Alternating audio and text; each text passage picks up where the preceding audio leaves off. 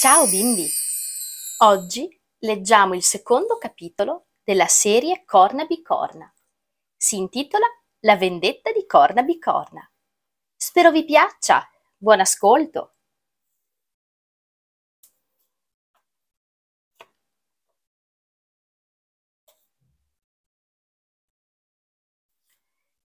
Era notte e a casa di Pietro tutto sembrava calmo e tranquillo. E invece, laggiù dalle parti del bagno, un piccolo rumore. Forse... Per mille cornacchie! Ah, il furfante! Ah, lo scellerato! Ah, lo scarafaggio quattr'occhi! Ha osato gettarmi nel gabinetto? A me? La sublime, la magnifica, la grandiosa corna bicorna. Oh, me la pagherà cara quella piccola palla di vermi. Sì, mi occuperò seriamente di te, tesoruccio mio. Poco dopo, a notte fonda, Pietro si alzò dal letto. Oh, uffa, pensò, mi scappa ancora la pipì. In corridoio la porta del bagno era socchiusa e delle impronte bagnate andavano fino in cucina. Eppure il papà e la mamma dormono tranquilli e il nonno e la nonna russano placidamente.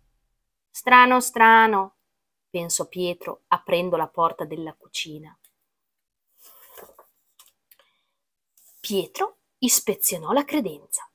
Nessuno. Aprì l'armadio a muro Nessuno. Controllò tutti i cassetti. Nessuno. Allora, caccola di zanzara, cerchi qualcuno? Pietro sussultò. La strega corna bicorna lo guardò severamente. Ah, mascalzone con gli occhiali, credevi di esserti sbarazzato di me? C'è da credere veramente che tu mi abbia preso per una stupida? Ebbene sì, signora strega, rispose Pietro sorridendo. Piccolo impertinente, ti spiaccicherò, ti schiaccerò, ti spappolerò! Schiacciarmi? Ma se sei piccola come una cacchina di libellula. Come? Microscopica come una pipì di moscerino. Come? Rattrappita come un vecchio pelo del naso. Come? Furiosa, corna bicorna sembrava ribollire come un vecchio pentolone.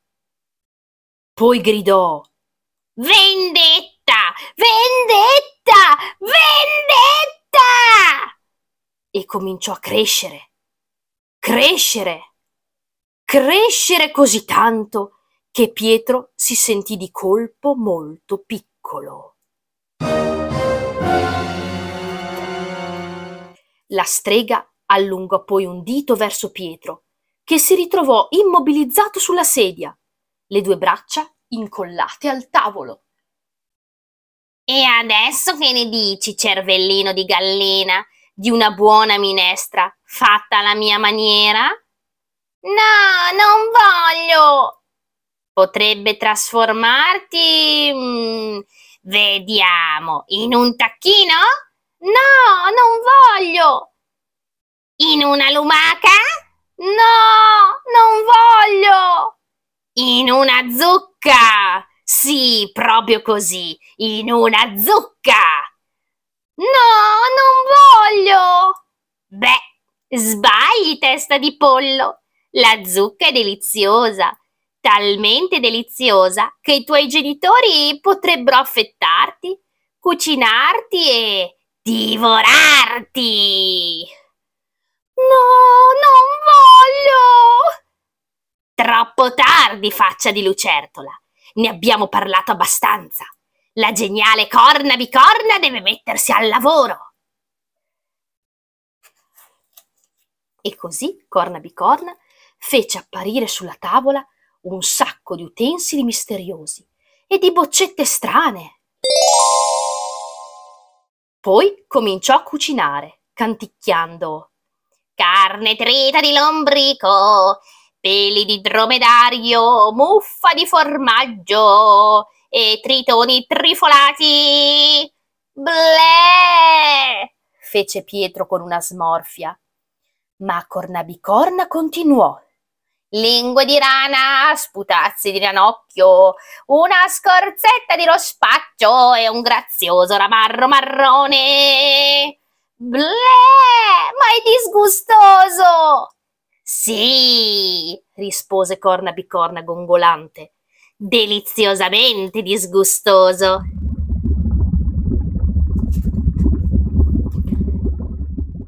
Poi tappò il naso di Pietro perché aprisse la bocca e avvicinò l'enorme cucchiaio.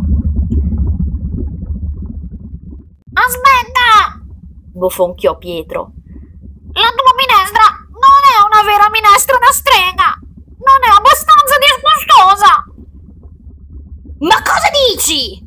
tuonò Cornabicorna indignata. Io sono una campionessa di minestre disgustose. Invece no, rispose Pietro facendo finta di pensare. Mancano i calli dei tuoi piedoni. Ah sì? Del sugo di vecchi scarponi. Ah sì? Dei peli di bassettoni. Ah sì? Sì, proprio così, continuò argutamente Pietro. Prova ad assaggiarla tu stessa e vedrai. E Corna Bicorna, confusa, assaggiò con attenzione la sua minestra.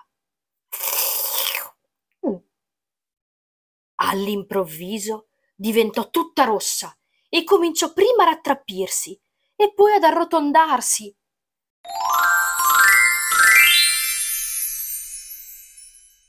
Per mille marmitte! Me l'ha fatta ancora una volta!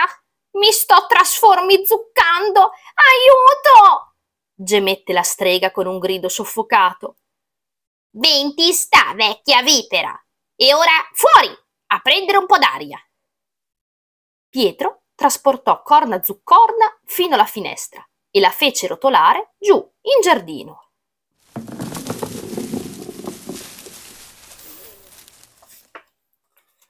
Il giorno dopo Pietro fu svegliato dalla voce della mamma. Venite tutti a vedere, è successo qualcosa di straordinario. Una zucca, è cresciuta una zucca in giardino. Ha una buffissima faccia, notò il papà di Pietro. Sembra quasi che ci stia guardando, aggiunse il nonno. Se potesse parlare, scommetto che lo farebbe, commentò la nonna. Beh, faccia non faccia, sarà un'eccellente minestra per questa sera. Speriamo che il nostro piccolo Pietro voglia assaggiarne un po'. Vero, tesoro? No, non voglio. Fine, bimbi. Spero vi sia piaciuto.